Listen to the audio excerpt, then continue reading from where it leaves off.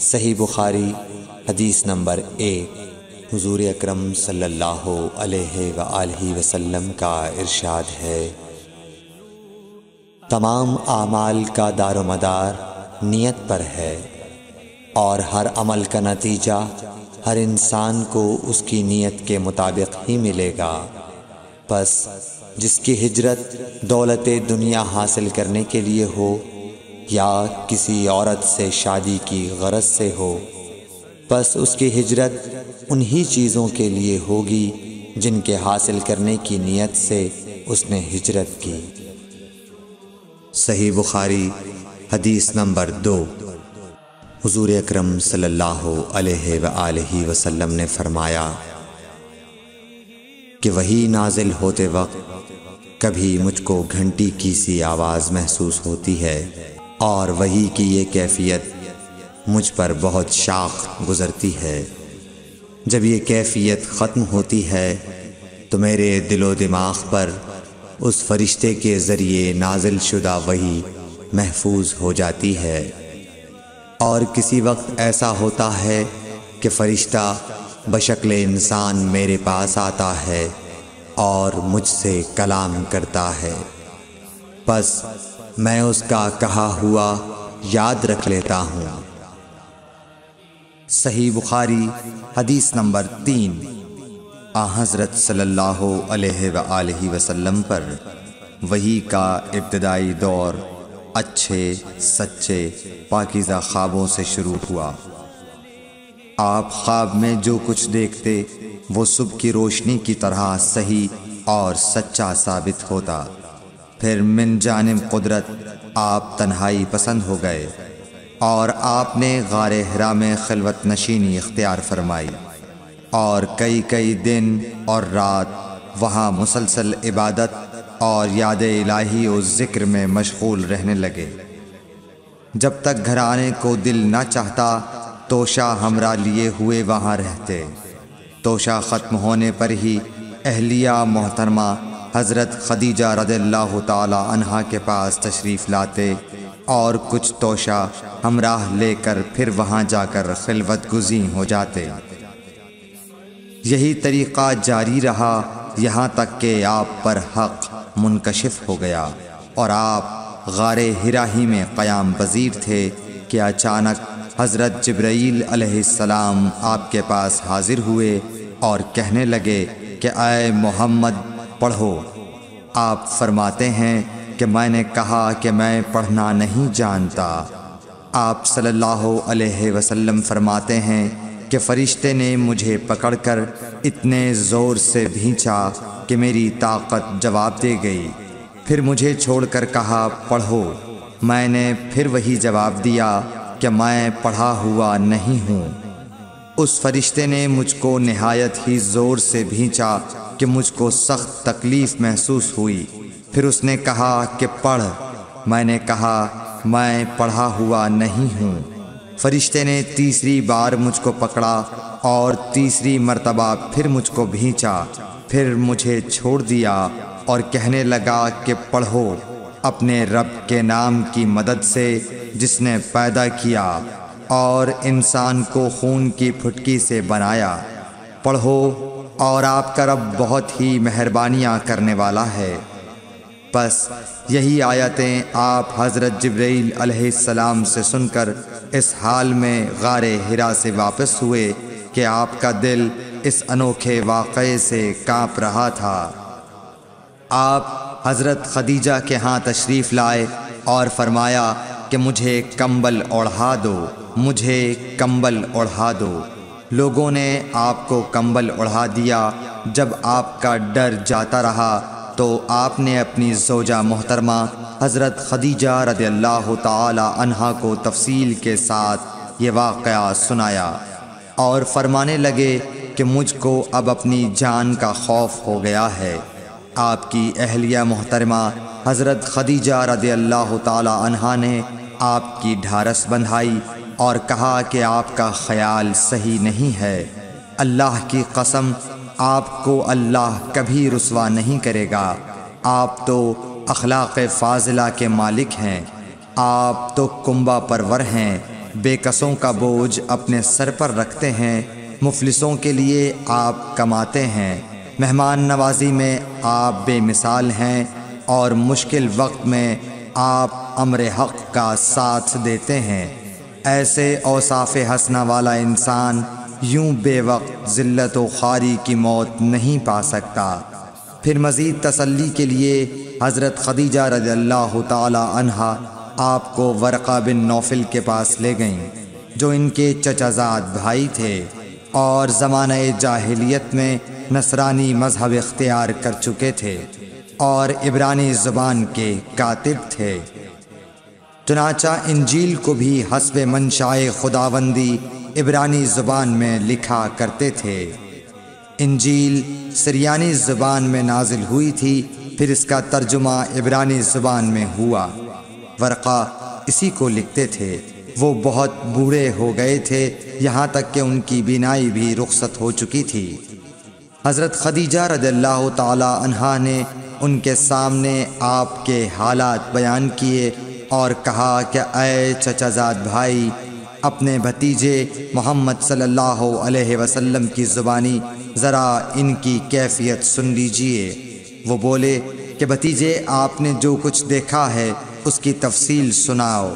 चुनाचा आप सल्लल्लाहु अलैहि वसल्लम ने अज अव्वल ता आखिर पूरा वाक़ सुनाया, जिसे सुनकर वर्का बेख्तियार होकर बोल उठे कि ये तो वही नामूस मुआज़ राजदान फरिश्ता है, जिसे अल्लाह ने हज़रत मूसा सलाम पर वही देकर भेजा था। काश मैं आपके इस अहद नबूवत के शुरू होने पर जवां उम्र होता। काश मैं उस वक्त तक ज़िंदा रहता, जबकि आपकी कौम आपको इस शहर से निकाल देगी। रसूल करीम सल्लल्लाहु अलैहि वसल्लम ने ये सुनकर ताज्जुब से पूछा कि क्या वो लोग मुझको निकाल देंगे? हालाँकि मैं तो इनमें सादिक व अमीन व मकबूल हूँ। वर्का बोला हाँ ये सब कुछ सच है। मगर जो शख्स भी आपकी तरह अमर हक लेकर आया, लोग उसके दुश्मन ही हो गए हैं। अगर मुझे आपकी नबूवत का वो ज़माना मिल जाए तो मैं आपकी पूरी पूरी मदद करूँगा। मगर वरक़ा कुछ दिनों के बाद इंतकाल कर गए। फिर कुछ अरसे तक वही की आमद मौकूफ़ रही। सही बुखारी, हदीस नंबर चार। हजूर अक्रम वसल्लम ने वही के रुक जाने के ज़माने के हालात बयान फरमाते हुए कहा कि एक रोज़ मैं चला जा रहा था कि अचानक मैंने आसमान की तरफ़ एक आवाज़ सुनी। और मैंने अपना सर आसमान की तरफ़ उठाया। क्या देखता हूँ कि वही फरिश्ता जो मेरे पास गार हिरा में आया था वह आसमान व ज़मीन के बीच में एक कुर्सी पर बैठा हुआ है। मैं उससे डर गया और घर आने पर मैंने फिर कंबल ओढ़ने की ख्वाहिश ज़ाहिर की। उस वक्त अल्लाह पाक की तरफ़ से ये आयात नाजिल हुई। अय लिहाफ ओढ़ कर लेटने वाले उठ खड़ा हो और लोगों को अजाब इलाही से डरा और अपने रब की बड़ाई बयान कर और अपने कपड़ों को पाक साफ़ रख और गंदगी से दूर रह। इसके बाद वही तेज़ी के साथ पैदर पे आने लगी। सही बुखारी, हदीस नंबर पाँच। सल्लल्लाहु अलैहि वसल्लम, नज़ुल कुरान के वक्त बहुत सख्ती महसूस फरमाया करते थे। और इसकी अलामतों में से एक ये थी कि याद करने के लिए आप अपने होठों को हिलाते थे। इब्ने अब्बास रदी अल्लाह तु ने कहा, मैं अपने होठों को हिलाता हूँ जिस तरह आप हिलाते थे। सईद कहते हैं, मैं भी अपने होठ हिलाता हूँ जिस तरह इब्ने अब्बास रदी अल्लाह तु को मैंने हिलाते देखा। फिर उन्होंने अपने होठ हिलाए। इब्ने अब्बास रदी अल्लाह तु ने कहा, फिर ये आयत उतरी क्या है मोहम्मद? कुरान को जल्द जल्द याद करने के लिए अपनी ज़बान ना हिलाओ। इसका जमा कर देना और पढ़ा देना हमारा ज़िम्मे है। हज़रत इबन अब्बास रज़ल्लाहु ताला अन्हो कहते हैं, यानी कुरान आप सल्लल्लाहु अलैहि वसल्लम के दिल में जमा देना और पढ़ा देना हमारे ज़िम्मे है। फिर जब हम पढ़ चुके तो इस पढ़े हुए की इतबा करो। इब्ने अब्बास रदल्ला तु फरमाते हैं, इसका मतलब यह है, आप इसको खामोशी के साथ सुनते रहो। इसके बाद मतलब समझा देना हमारे ज़िम्मे है। फिर यकीनन ये हमारी ज़िम्मेदारी है कि आप इसको पढ़ो, यानी इसको महफूज कर सको। चुनाचा इसके बाद, जब आपके पास हज़रत जब्राईल अलैहिस्सलाम वही लेकर आते तो आप तवज्जो से सुनते। जब वो चले जाते तो रसूलुल्लाह सल्लल्लाहु अलैहि वसल्लम इस वही को इस तरह पढ़ते, जिस तरह हज़रत जब्राईल अलैहिस्सलाम ने इसे पढ़ा था। सही बुखारी, हदीस नंबर छः। रसूलुल्लाह सल्लल्लाहु वसल्लम, सब लोगों से ज़्यादा जवाद सखी थे। और रमज़ान में दूसरे अवकात के मुकाबले में, जब जब्राईल अलैहिस्सलाम आप सल्लल्लाहु अलैहि वसल्लम से मिलते, बहुत ही ज़्यादा जूदो करम फरमाते जब्राईल अलैहिस्सलाम रमज़ान की हर रात में आप सल्लल्लाहु अलैहि वसल्लम से मुलाकात करते और आपके साथ कुरान का दौरा करते। गर्ज, आ हज़रत सल्लल्लाहु अलैहि वसल्लम लोगों को भलाई पहुँचाने में बारिश लाने वाली हवा से भी ज़्यादा जूदो करम फरमाया करते थे। सही बुखारी, हदीस नंबर सात। हर कल शाह रूम ने कुरेश के काफ़िले में एक आदमी बुलाने को भेजा। और उस वक्त ये लोग तिजारत के लिए मुल्क शाम गए हुए थे। और ये वो ज़माना था जब रसूलुल्लाह सल्लल्लाहु अलैहि वसल्लम ने कुरैश और अबू सुफियान से एक वक्ती अहद किया हुआ था। जब अबू सुफियान और दूसरे लोग हरकल के पास एलिया पहुँचे जहाँ हरकल ने दरबार तलब किया था। इसके गिर्द रोम के बड़े बड़े लोग, उलमा वज़राओ उमरा बैठे हुए थे। हरकल ने उनको और अपने तर्जुमान को बुलवाया। फिर उनसे पूछा कि तुम में से कौन शख्स मुद्दई रसालत का ज़्यादा करीबी अज़ीज़ है? अबू सुफियान कहते हैं कि मैं बोल उठा कि मैं उसका सबसे ज़्यादा करीबी रिश्तेदार हूँ। ये सुनकर हरकल ने हुक्म दिया कि इस अबू सुफियान को मेरे करीब लाकर बिठाओ और इसके साथियों को इसकी पीठ के पीछे बिठा दो। फिर अपने तर्जुमान से कहा कि इन लोगों से कह दो कि मैं अबू सुफियान से उस शख्स, यानी मोहम्मद सल्लल्लाहु अलैहि वसल्लम के हालात पूछता हूँ। अगर ये मुझसे किसी बात में झूठ बोल दे तो तुम इसका झूठ ज़ाहिर कर देना। अबू सुफियान का कौल है कि खुदा की कसम, अगर मुझे ये गैरत ना आती कि ये लोग मुझको झुटलाएँगे तो मैं आप सल्लल्लाहु अलैहि वसल्लम की नस्बत ज़रूर गलत गोई से काम लेता। खैर, पहली बात जो हर कल ने मुझसे पूछी वो ये कि उस शख्स का ख़ानदान तुम लोगों में कैसा है। मैंने कहा, वो तो बड़े ऊँचे आली नसब वाले हैं। कहने लगा, इससे पहले भी किसी ने तुम लोगों में ऐसी बात कही थी? मैंने कहा, नहीं। कहने लगा अच्छा उसके बड़ों में कोई बादशाह हुआ है? मैंने कहा, नहीं। फिर उसने कहा, बड़े लोगों ने उसकी पैरवी इख्तियार की है या कमज़ोरों ने? मैंने कहा, नहीं, कमज़ोरों ने। फिर कहने लगा, उसके ताबेदार रोज़ बढ़ते जाते हैं या कोई साथी फिर भी जाता है? मैंने कहा, नहीं। कहने लगा, क्या अपने इस दावाए नबूवत से पहले कभी किसी भी मौके पर उसने झूठ बोला है? मैंने कहा, नहीं।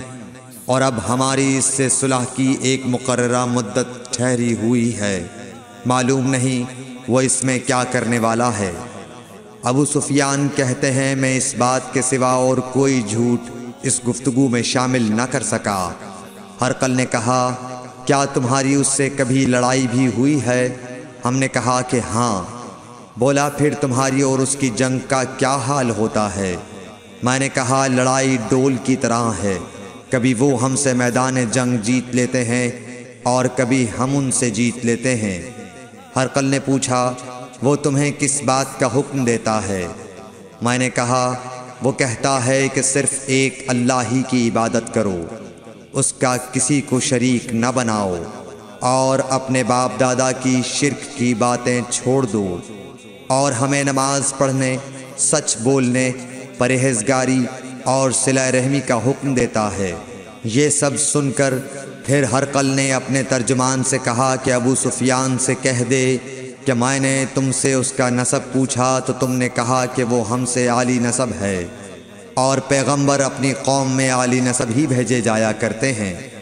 मैंने तुमसे पूछा कि दावा नबूवत की, ये बात तुम्हारे अंदर इससे पहले किसी और ने भी कही थी? तो तुमने जवाब दिया कि नहीं।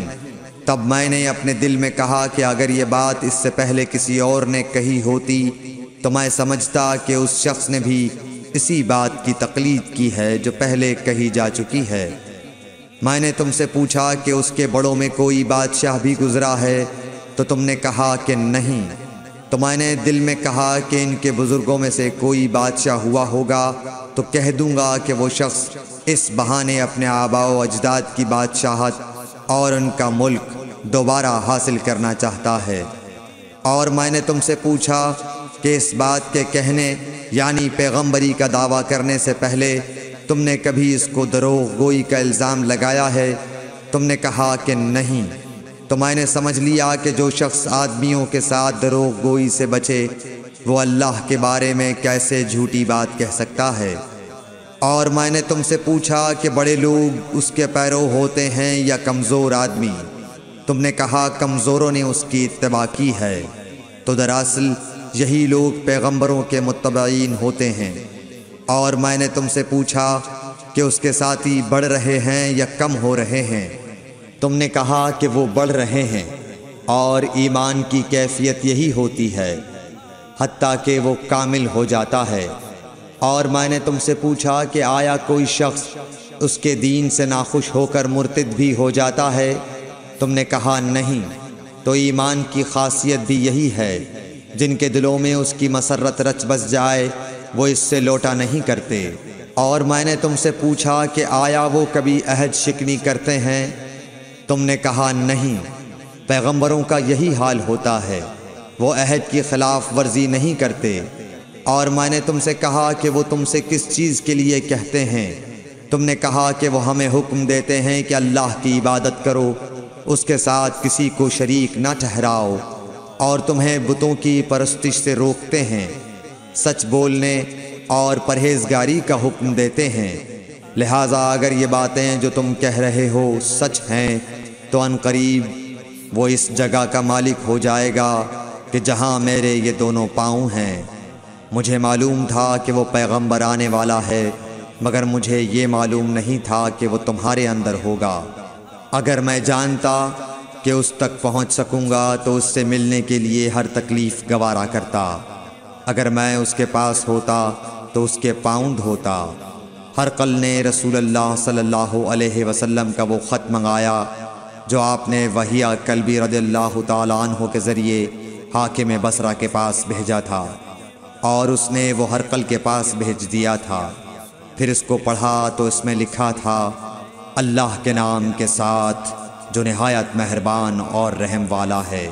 अल्लाह के बंदे और उसके पैगंबर मोहम्मद सल्लल्लाहु अलैहि वसल्लम की तरफ़ से ये ख़त है शाह रोम के लिए। उस शख्स पर सलाम हो जो हिदायत की पैरवी करे। इसके बाद मैं आपके सामने दावत इस्लाम पेश करता हूँ। अगर आप इस्लाम ले आएँगे तो दीन दुनिया में सलामती नसीब होगी। अल्लाह आपको दोहरा सवाब देगा। और अगर आप मेरी दावत से रूगरदानी करेंगे तो आपकी रियाया का गुनाह भी आप ही पर होगा। और ए अहल किताब, एक ऐसी बात पर आ जाओ जो हमारे और तुम्हारे दरमियान यकसा है। वो ये कि हम अल्लाह के सिवा किसी की इबादत न करें और किसी को उसका शरीक न ठहराएँ और न हम में से कोई किसी को खुदा के सिवा अपना रब बनाए। फिर अगर वो अहल किताब इस किताब से मुँह फेर लें तो मुसलमानों तुम इनसे कह दो कि तुम मानो या न मानो, हम एक खुदा के इतात गुजार हैं। अबू सुफियान कहते हैं, जब हर कल ने जो कुछ कहना था कह दिया और ख़त पढ़कर फारिग हुआ तो उसके इर्द गिर्द बहुत शोर गोगा हुआ। बहुत सी आवाज़ें उठीं और हमें बाहर निकाल दिया गया। तब मैंने अपने साथियों से कहा कि अबू कबशा के बेटे आ हज़रत सल्लल्लाहु अलैहि वसल्लम का मामला तो बहुत बढ़ गया। देखो तो इससे बनी असफ़र रोम का बादशाह भी डरता है। मुझे इस वक्त से इस बात का यकीन हो गया कि हुजूर सल्लल्लाहु अलैहि वसल्लम अनकरीब गालिब होकर रहेंगे हती कि अल्लाह ने मुझे मुसलमान कर दिया। रावी का बयान है कि इब्न नातूर एलिया का हाकिम हर कल का मुसाहिब और शाम के नसारा का लाट पादरी बयान करता था कि हर कल जब एलिया आया, एक दिन सुबह को परेशान उठा तो उसके दरबारियों ने दरियाफ्त किया कि आज हम आपकी हालत बदली हुई पाते हैं। क्या वजह है? इब्न नातूर का बयान है कि हर कल नजूमी था। इल्म नजूम में वो पूरी महारत रखता था। उसने अपने हम नशीनों को बताया कि मैंने आज रात सितारों पर नज़र डाली तो देखा कि ख़तना करने वालों का बादशाह हमारे मुल्क पर गालिब आ गया है। भला, इस ज़माने में कौन लोग ख़तना करते हैं? उन्होंने कहा कि यहूद के सिवा कोई ख़तना नहीं करता, सो इनकी वजह से परेशान न हो। सल्तनत के तमाम शहरों में यह हुक्म लिख भेजिए कि वहाँ जितने यहूदी हों सब कत्ल कर दिए जाएँ। वो लोग इन्हीं बातों में मशगूल थे कि हर कल के पास एक आदमी लाया गया जिसे शाह गस्सान ने भेजा था। उसने रसूलुल्लाह सल्लल्लाहु अलैहि वसल्लम के हालात बयान किए। जब हर कल ने सारे हालात सुन लिए तो कहा कि जाकर देखो वो ख़तना किए हुए है या नहीं। उन्होंने इसे देखा तो बतलाया कि वो ख़तना किया हुआ है। हर कल ने जब इस शख्स से अरब के बारे में पूछा तो उसने बतलाया कि वो ख़तना करते हैं। तब हर कल ने कहा कि यही मोहम्मद सल्लल्लाहु अलैहि वसल्लम इस उम्मत के बादशाह हैं जो पैदा हो चुके हैं।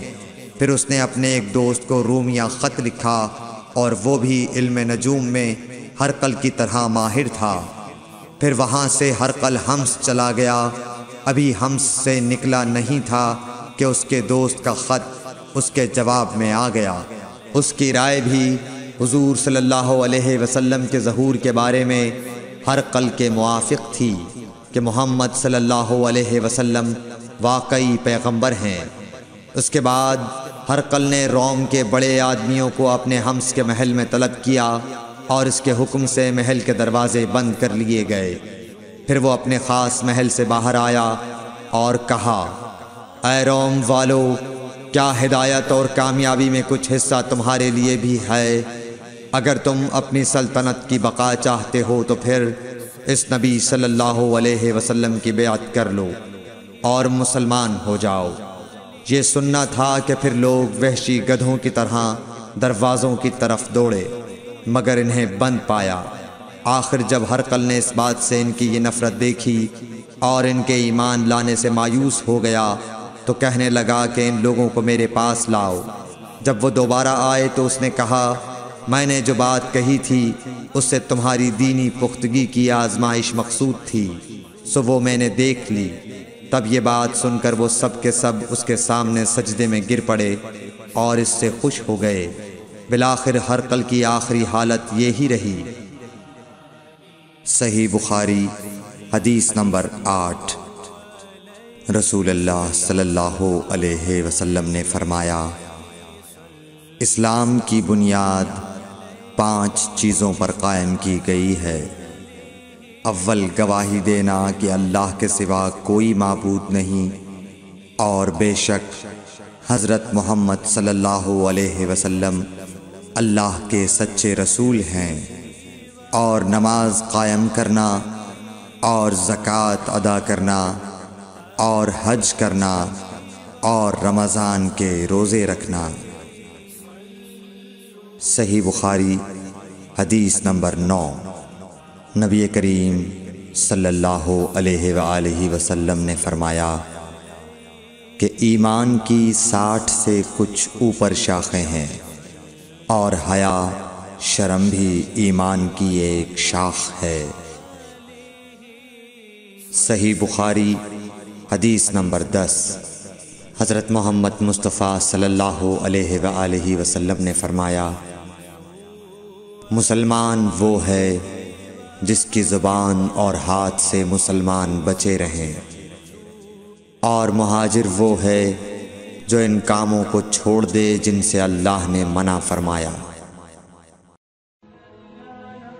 Thanks for watching don't forget to like comment share and subscribe to